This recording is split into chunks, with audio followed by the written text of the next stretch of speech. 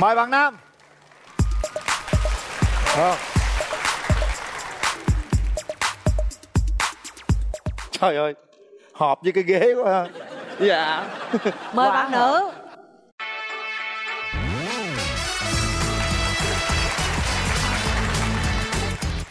bây giờ thì à, các bạn giới thiệu về rồi mình đi. em gái ngồi. Dạ em à, xin giới thiệu bằng à, một chương trình phát thanh nè. rồi. Hả Mời quý vị và các bạn theo dõi chương trình phát thanh xã nhà. Trong chương trình hôm nay, xin gửi đến quý vị và các bạn một thông báo rất rất quan trọng. Sở dĩ nó quan trọng là vì nó liên quan đến hạnh phúc của một cô gái.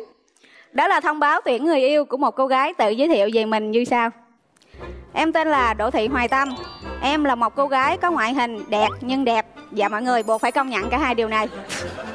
được Mặc dù năm nay em 30 tuổi nhưng em có rất nhiều fan nhí.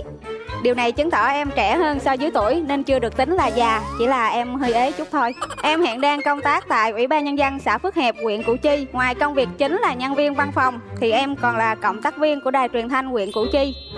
Khả năng nói, đọc, dẫn chương trình của em thì không vấn đề gì. Chỉ có khả năng ca hát là cực kỳ có vấn đề. Nó đạt đến trình độ tra tấn người khác rất cao. Em có rất nhiều tính tốt chẳng hạn như hay giúp đỡ người khác, nấu ăn thì cũng biết chút chút, nhiệt tình, trách nhiệm với công việc, tính tình thì à, vui vẻ, hòa đồng, đặc biệt là chung thủy. Sự thật đã chứng minh điều này, em đã chung thủy với cái ế gần 5 năm rồi. Bây giờ em muốn chia tay với cái sự ế nên hôm nay em quyết định đến chương trình Bạn muốn hẹn hò để thông báo tuyển người yêu. hay quá. tuyệt vời đài phát thanh là duyệt hay quá chừng. Đầy đủ thông tin chưa? Bây giờ tới đài phát thanh truyền hình bên Nam đó mà. Em xin giới thiệu em tên là Nguyễn Quang Huy. Năm nay em 30 tuổi. Ờm, Em đến từ ờm, Thủ Đức. Ờm, Công việc hiện tại của em là viên chức nhà nước. Em cũng ờ, đang ờ, công tác trong ờ, Sở Lao động Thương binh Xã hội thành phố. À. Thì cái công việc chính của em á là nghiên cứu về thị trường lao động nhưng mà trong những cái năm vừa qua thì cái sự ế nó đeo bám em cho nên em sẵn em nghiên cứu luôn cái thị trường ế. Thì em thấy cái độ tuổi của em đó là nó rơi vô cái độ tuổi ế rồi cho nên là em phải chạy lên đây. Dạ cảm ơn chương trình. Em có những ưu điểm khuyết điểm gì? Dạ ưu điểm của em á là sống tình cảm. Ừ. cái tính em thì nó cũng ờ, thật thà nhưng mà nhiều khi á thì cái ưu điểm mà lớn nhất của em mà cũng là cái khuyết điểm của em á là em bị ga lăng quá mức á cho nên người ta cứ tưởng đâu là em có bồ em có vợ rồi cho nên là giờ không ai ngó tới em. Ế gần chết ế gần chết. À, cái này em cũng giống anh anh. Em nói em không có bồ không ai tin hết á. trời ơi lai mạnh luôn nha. Cặp này có bộ ổn à lanh à. Bây giờ vô cái tình trường đi để cho biết có có kinh nghiệm không. Bây giờ em gái nè mấy mối tình rồi? Dạ em ờ, tình trường của em hạn chế lắm em chỉ mới trải qua một mối tình. một mối tình được mấy năm Dạ chắc khoảng một năm ạ. lý do sao chia tay? Dạ chắc tại chân em ngắn. vậy chứ lúc đầu sao ta quen? Là thì bạn đó nói là bạn đó không có chơi đẹp nhưng mà đều thích chân dài hơn. à bị tình phụ phải không? Đau lòng. đau lòng quá ha. Dạ. rồi bên kia bạn trai mấy mối tình rồi cưng? Thực tế thì có ba mối tình. À. Hiện tại thì em ấy chắc cũng ờ, hai ba năm nay rồi. À. Lý- người yêu cũ thì đi lấy chồng. Chồng là người đứa bạn thân. À em ăn hỏi đau gấp 10 lần bạn luôn á bây giờ bỏ qua cái đó đi chúng ta đến với à, con người mới mối Dạ. tình mới em gái nha em gái Dạ. muốn tìm người bạn trai như thế nào Ế quá nên cô không có dám có yêu cầu gì nhiều hết chị. Nhưng mà bạn đó thì phải cao hơn em chứ mà cỡ như em ai coi cho. em mét mấy sáu bảy em Dạ, một trong những cái bí mật mà em không hay nói với người khác đó là chiều cao của em. Nên anh Linh cũng thông cảm. thông cảm rồi anh hiểu rồi bên đây sáu bảy đó rồi còn gì nữa không Em thì ờ, thích bạn đó là sống có tình cảm. Em không thích những bạn nam ờ, gia trưởng có tính đàn bà. Tại vì nói chung là em coi vậy chứ tính em nó cũng men lắm. Nhưng mà điều ờ, bạn nam bên kia yên tâm bữa nay ngoại tạo hình của em rất là duyên dáng. Anh mà không tin thì có thể nhờ anh Quyền Linh sang kiểm chứng trước. ai đến tạo qua coi em tạo hình bển sao nha ai tạo hình Dạ. cho em hả tạo hình bây giờ vấn đề trước khi qua đó coi sao á là anh hỏi em là em thích bạn gái như thế nào dạ ờ, bạn gái mà nói là quê củ chi là em thích rồi đó. Ừ. củ chi đất thép thành đồng. Rồi thích gì nữa? Thích ờ, bạn gái nói chung là tại em cũng ờ, thuộc dạng em ế quá rồi. Thì nói chung là nhìn được là được. Được là được. Dạ, dễ quá ha. Dạ em dễ tính. Rồi để anh coi bạn gái bên đây coi. Tạo hình duyên rồi dáng em tạo hình rồi đó hả gái củ chi đất thép thành đồng đây ha. Dạ, nên ngoại hình của em cũng thích nghi với điều kiện sống ở địa đạo. chết rồi em vậy sao em chui địa đạo được anh? Bên đây nó không có thích hợp với địa đạo. Ế quá rồi làm luôn đi. Ừ. hốt luôn đi cái bạn. Trời ơi bự quá vậy. Không được nhỏ thôi chị. Cười duyên dáng quá ha. Dạ. có tính đàn bà không em? Dạ không chị. Rồi mình có đàn bà không? Dạ không em là chuẩn men chuẩn men chuẩn men. Chắc không? Chắc luôn. Sao tôi thấy nó giọng nói chuyện cũng đãi đãi dữ vậy dạ tại tính chất công việc nó vậy. Ủa tính chất công việc khiến cho cái giới tính mình nó lung lay hay em không có lung lay chị. Có lung lay không? Không. Súng. Chắc chắn. Chắc chắn. Lấy gì để chứng minh được điều đó? Dạ để bạn nữ kia kiểm chứng gì tôi đứng đây mà tôi nghe mùi dầu thơm không mà không biết là em sức hay cô bên này sức. Dạ chắc chắc, bên em kia thì đó. Mặc áo thì cũng chói ha. Dầu thơm thì bát ngát.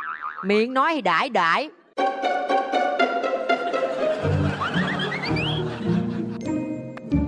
vậy mà rồi là cái này em tự kiểm tra nha. Chị chỉ kiểm tra được cái sơ bộ thì chị thấy là hơi đãi còn cái nội bộ là em phải tự chịu trách nhiệm nha cơ nha.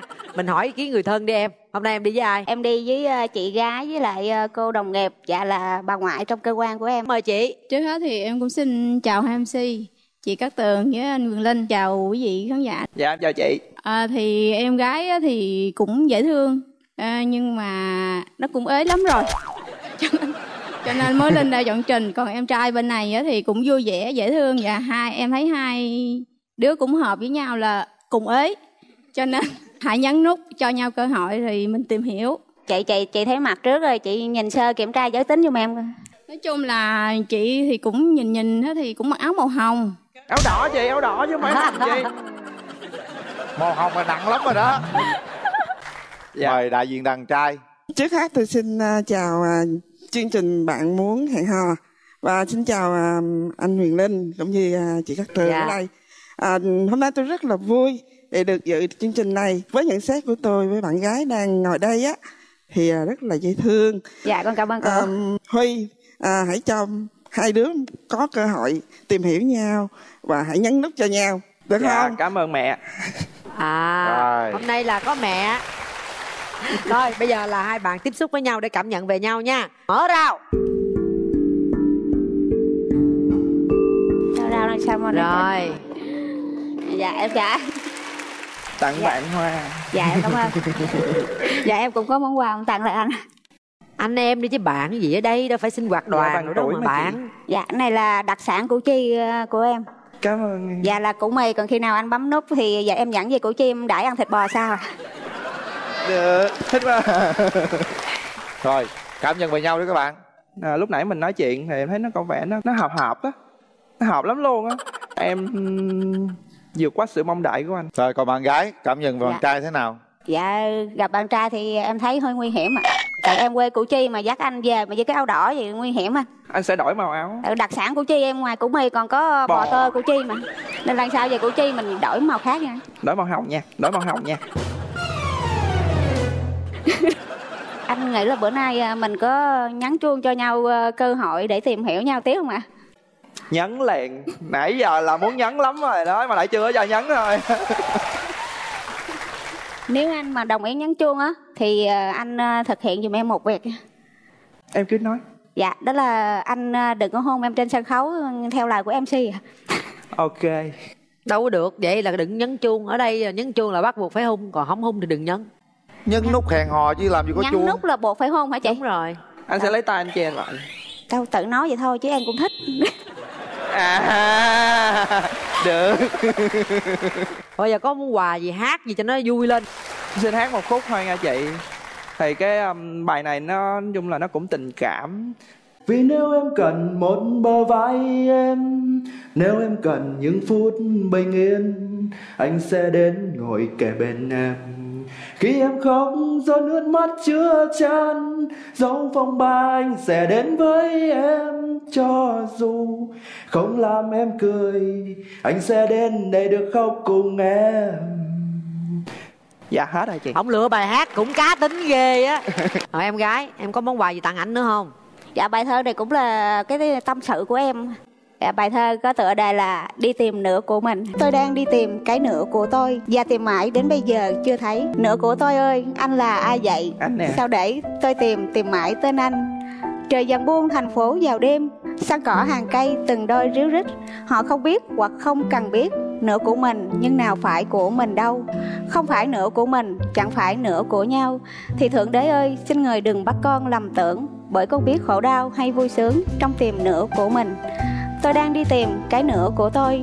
Và ở đâu đó trên trái đất này anh cũng đang tìm tìm tôi như thế. Chỉ có điều ta chưa nhận ra nhau. Hy vọng sau chương trình bạn muốn hẹn hò chúng ta sẽ cùng nhau ra về. Hay quá.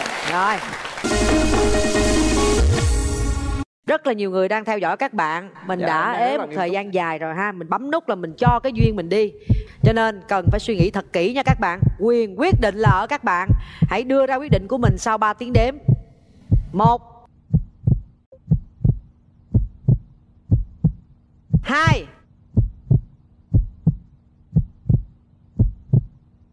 Ba. Hết thời gian rồi mời em gái. Đó. Rồi đó làm gì làm đi. Nắm tay nhau đi. Bây giờ à, xin phép à, gia đình đó dạ. mình làm thủ tục đầu tiên đi. Xin phép ngoại xin phép chị. Cho con hôn một cái